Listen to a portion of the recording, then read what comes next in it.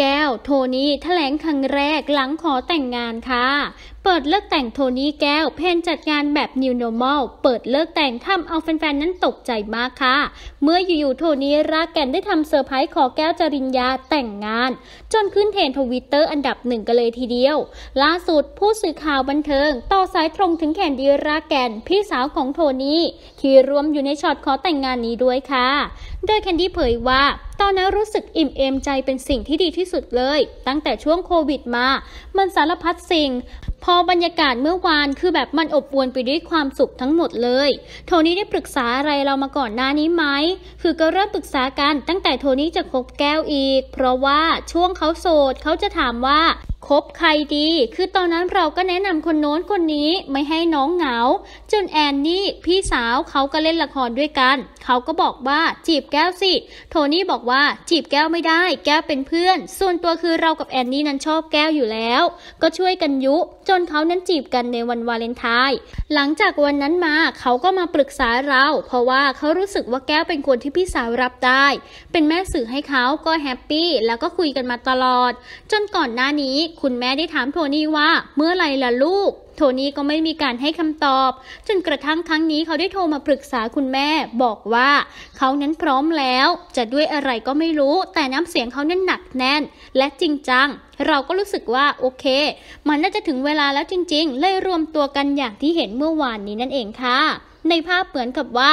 คุณพ่อคุณแม่ของแก้วก็รู้ล่วงหน้า คือเขาก็รู้ว่าเราจะไปพูดคุย ซึ่งแน่นอนเขาต้องรู้ว่าเราจะไปพูดคุยกันเรื่องอะไร แต่ก็เซอร์ไพรส์ตอนที่โทนี่นั้นเอาแหวนออกมาขอตรงนี้กันเลยเหรอ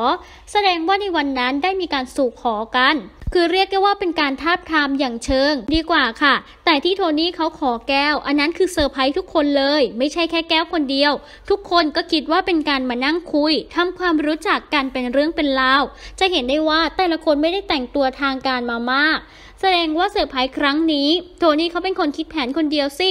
คิดว่าแอนนี่และคุณแม่เราก็น่าจะรู้เรื่องด้วย แต่ก็ไม่คิดว่าเขาจะแหวนมาขอตรงนั้นเลย ถามความรู้สึกเราตอนนี้คือมันเหมือนกับว่าเรานั้นรอมานาน ด้วยอายุโทนี่เขาก็พร้อมแล้ว ทางแก้วก็อาจจะอายุน้อยหน่อย พอโทนี่พร้อมแล้วเขาก็มีการเปลี่ยนแปลงขึ้น หลังจากที่เขาคบกับแก้วคือมันเหมือนกับว่าเขาได้เจอคู่ชีวิตที่ดี มีชีวิตมีไลฟ์สไตล์ในการใช้ชีวิตในทางที่ดีขึ้น และมันดูตรงกัน เขาเปลี่ยนแปลงอะไรบ้าง คือเขาก็ดูแลร่างกายแบบดีขึ้น เพื่อเขาจะได้แข็งแรงและดูแลอีกคนได้ ซึ่งเราไม่เคยเห็นเขาเป็นแบบนี้ ในเรื่องของการวางแผนในอนาคต ว่าจะมีการทำรายการมองงานที่ 2 ที่ 3 นอกเหนือจากงานแสดงเผื่อไว้เป็นแผนสำหรับคนที่เขาพร้อมสำหรับการมีครอบครัวเป็นคู่ชีวิตที่ดีที่สุด หลังจากนี้ในเรื่องของงานแต่งงานจะดำเนินการอย่างไร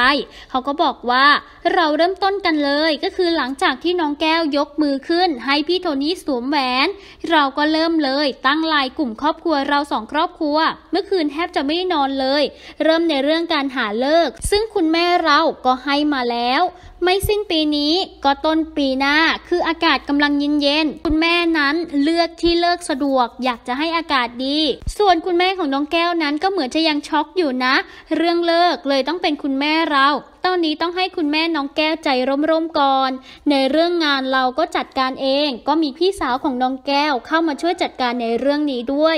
แสดงว่าในเรื่องการจัดงานทางบ้านเราจะเป็นหลัก ก็ช่วยกันค่ะ แต่บ้านเราต้องเป็นหลักอยู่แล้ว ด้วยบ้านเรานั้นมีหลายคนกว่า และก็เคยมีประสบการณ์ อย่างแอนนี่ก็เคยแต่งงานมาแล้ว พี่เคยก็อยู่ในวงการเวดดิ้งสตูดิโอสบายเลย เดี๋ยวเราจัดการให้ ก็เรียกได้ว่าชื่นมื่นกันอีกคู่แล้วแหละค่ะ ทางทีมงานก็ต้องขอแสดงความยินดีกับแก้วและโทนี่ด้วยค่ะ